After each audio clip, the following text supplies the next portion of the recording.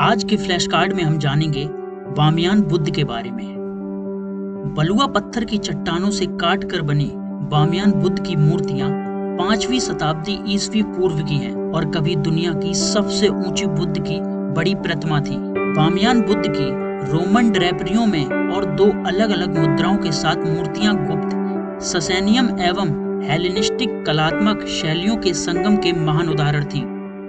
Senior लोगों द्वारा बुलाए जाने वाले सालसल और शमामा क्रमशः 55 और 38 मीटर की ऊंचाई तक की थी। सालसल का अर्थ है प्रकाश, ब्रह्मांड के माध्यम से चमकता है, जबकि शमामा रानी माँ है। बामियान अफ़गानिस्तान के मध्य ऊंचाई वाले क्षेत्रों में हिंदू कुश के ऊँचे पहाड़ों में स्थित है। बामियान नदी के साथ स्थित घाटी कवि सिल्क रोड के शुरुआती दिनों का अभिन्न अंग थी। जो न केवल व्यापारियों बल्कि संस्कृति धर्म एवं भाषा के लिए भी मार्ग प्रदान करता था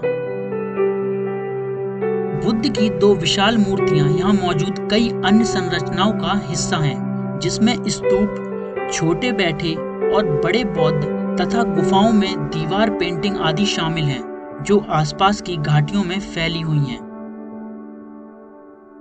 जब बौद्ध कुषाण साम्राज्य का प्रसार हुआ तो बमियान एक प्रमुख व्यापार, सांस्कृतिक एवं धार्मिक केंद्र बन गया। जब चीन, भारत और रोम के व्यापारी बामियान से होकर गुजरे तो ऐसे में वहाँ कुषाणों द्वारा एक समन्वित संस्कृति विकसित की गई। पहली से पांचवी शताब्दी ईस्वी के बीच बौद्ध धर्म के तीव्र प्रसार में बामियान ने महत्वपूर्ण भूमिका निभाई और कई मठ स्थापित किए गए।